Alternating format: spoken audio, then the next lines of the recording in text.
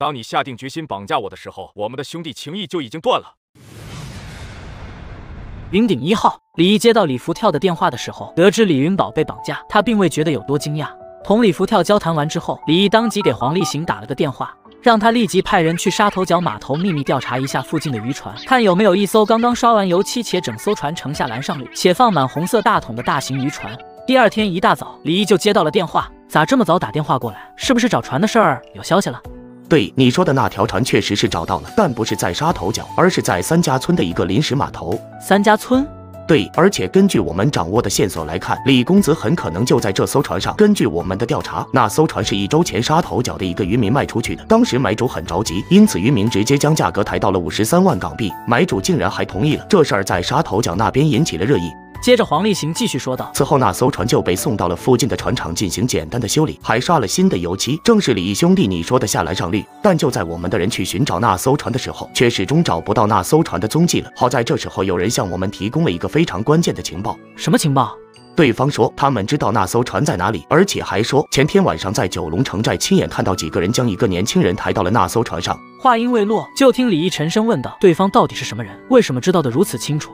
黄立行笑了笑，说道：“提供线索的人你也认识？”李毅皱眉道：“我认识，怎么我半点印象都没有？到底是谁了？还记得昨天早晨到咱们公司要保护费的那个大光头吗？是他。对，据那小子说，他昨天回去之后被猛虎帮的老大狠狠教训了一番，差点把腿给打折了。心情烦躁之余，便去了九龙城寨找乐子。”接着，黄立行再次说道：“说来也巧，那小子完事儿后便准备回去了，却在一条暗巷里看到有人在绑人，出于好奇便跟了上去。那你的人是怎么找上他的？我记得那家伙昨天被咋收拾的挺惨的，他为什么要告诉我们这么关键的信息？是那家伙自己找上门来的，他也是混道上的，而我们的人调查这种事情，大多也是和道上的人打听，自然是瞒不过他的。”而后，黄立行继续说道：“这小子也是有目的的，他希望咱们能看在这事儿的份儿上，能放他一马，也放猛虎帮一马。”李毅点了点头，说道：“如果他提供的消息真的有用的话，放他们一马也是应该的。”咦，对了，现在船找到了，咱们现在该咋办？密切监视那艘船，先搞清楚李云宝在不在船上，同时摸清楚船上有多少人，有没有枪械。随后，黄立行说道：“要不要通知一下李会长？暂时不用，他现在心思早就乱了，告诉他只会坏事儿。”也对，这时李毅再次说道：“你在码头上的那几艘游艇都加好油，人也随时准备好，一旦发现那艘渔船有出海的意思，立即跟上去。放心吧，随时准备着。”说完，李毅便挂了电话。然而，就在李毅准备前往公司的时候，电话再次响了起来。电话那边随即传来了李福跳的声音：“李毅先生，是我，李会长，你这么早给我打电话，是有什么事儿吗？”李福跳沉声说道：“绑匪那边刚刚又联系我了，说明情况。绑匪要你们做什么？”李福跳喘着粗气说道：“绑匪要我们中午之前务必将赎金准备好，不然的话就会切云宝的一只耳朵下来。”即便是隔着一条电话线，李毅也能感受到李福跳的愤怒。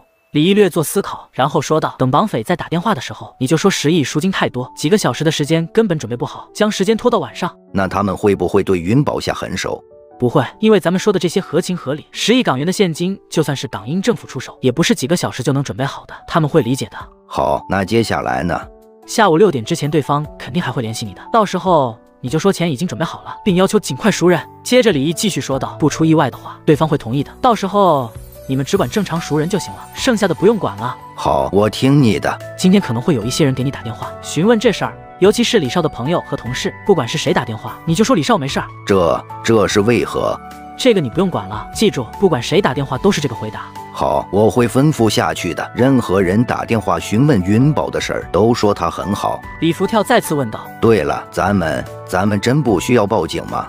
李毅淡淡的说道：“暂时不需要，但如果抓住绑匪之后，你要是觉得需要警方处理的话，我没意见。”听到这话，李福跳顿时安心了不少。我明白了，那这事儿就拜托了。三家村码头，一艘外表崭新光亮的大型渔船里，一帮人正围坐在船舱里。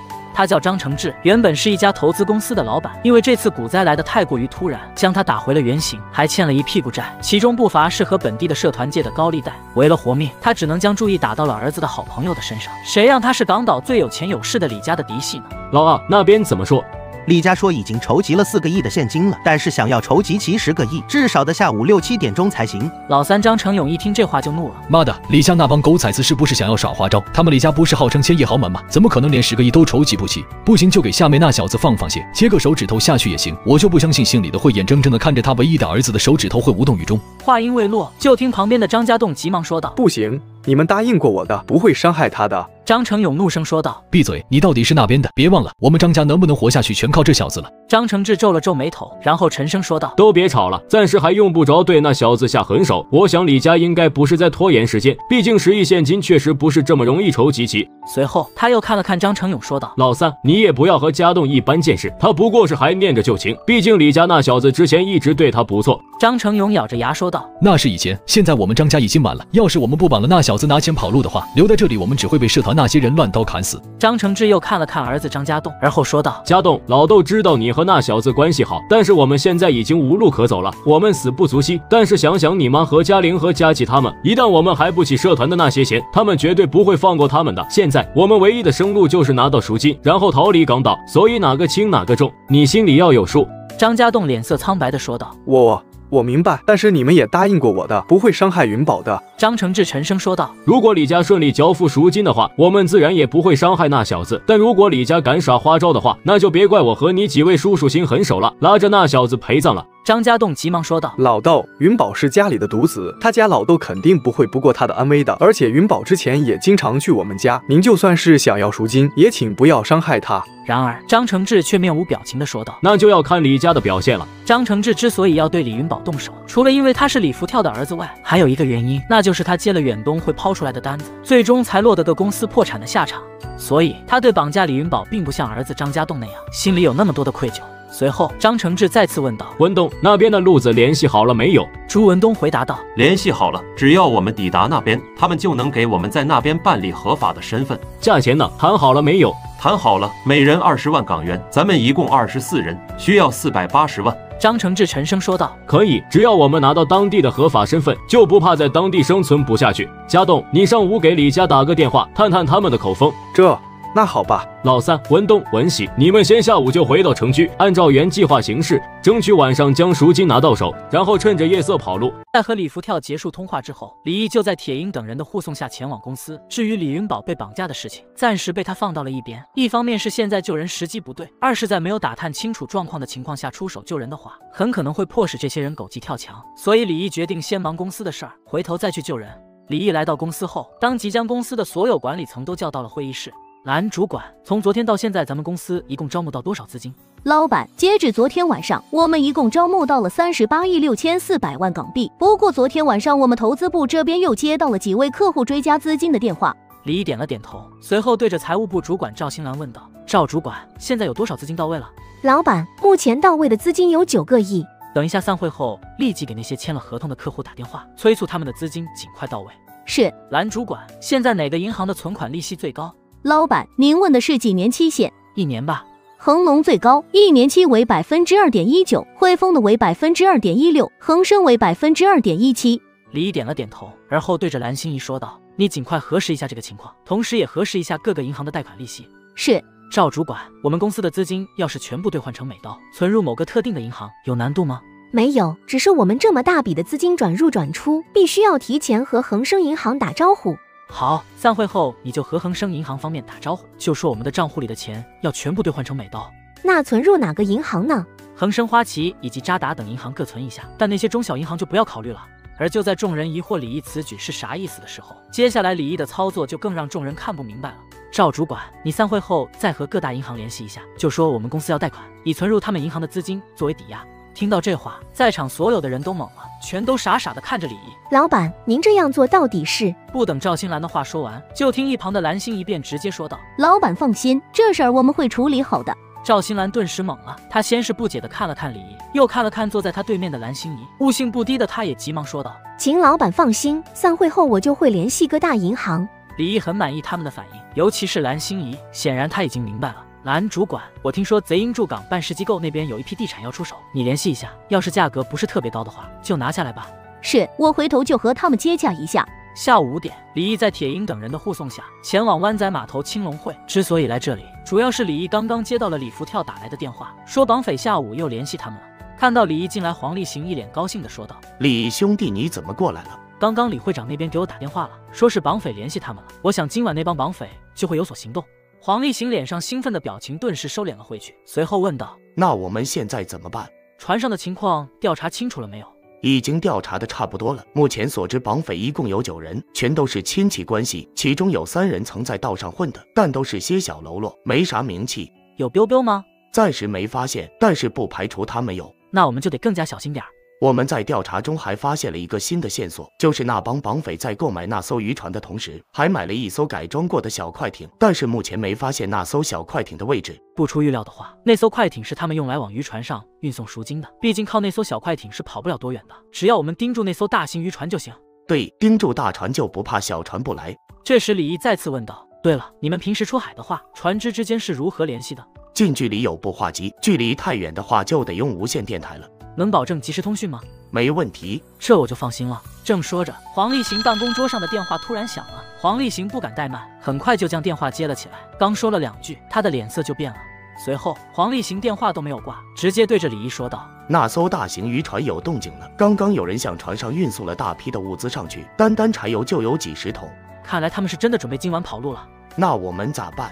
不着急，现在天还没有黑，他们应该不会这个时候行动。”接着，李毅继续说道：“天色一黑，就让咱们的船开到三家村码头外围，大船在三家村西南七十海里的地方待命。快艇除了其中一艘盯着那艘船，其他的每隔十海里一艘。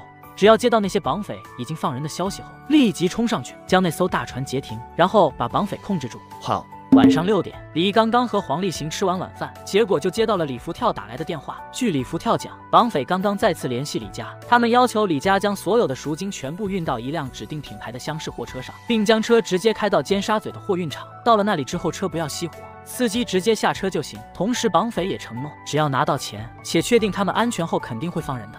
厉生，我担心，要是他们拿了赎金不放人，你说我现在该咋办？按照对方的要求做就行，其他的我来办。随后，李毅立即让黄立行带着船队出发，而他则是亲自在湾仔码头这边坐镇指挥。四十分钟后，李毅接到了黄立行发来的电报，称所有快艇已经到达了预定位置。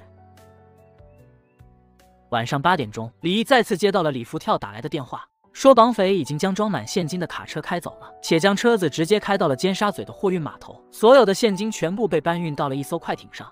而后隔了不到十分钟，李毅就接到了黄立行从三家村外围发来的电报，称那艘可疑的渔船出海了。回复黄生，李云宝还在船上，不要轻举妄动，远远吊着那艘渔船就行。黄立行再次发来了电报，称有一艘快艇和那艘大型渔船碰面了，他们在原地停了十几分钟。而后快艇被遗弃后，所有人上了大船，一路向着公海开去。绑匪并没有放人。就在李毅等得有些心浮气躁的时候，他接到了黄立行发来的电报，称那帮绑匪终于放人了，他们将已经饿得奄奄一息的李云宝放到了一艘橡皮艇上，就不管他了。那些绑匪则是继续向着公海深处驶去。现在李云宝已经被他们救了起来。得知消息后，李毅知道该收网了，当下他不再犹豫，立即指示黄立行，所有船只全部对上去，截停绑匪的船。黄生，你们是怎么找到我的？是我老豆让你们来的吗？李先生并不清楚这事儿，是李毅兄弟让我们过来的。他怎么知道我在这里？李少，这个问题你回去后亲自问李毅兄弟就行了。现在绑架你的那些绑匪已经被抓到了，赎金也全都被拿了回来。你要过去看看吗？李云宝先是一愣，随即咬了咬牙说道：“去，为什么不去？”云宝，我们错了，你放过我们吧，我求你了。你知不知道，我是真的拿你当兄弟。当我知道你们家破产的时候，我第一次放下脸面求我老豆，让他帮帮你家。这是我十二岁以后第一次求我老豆，就为了你。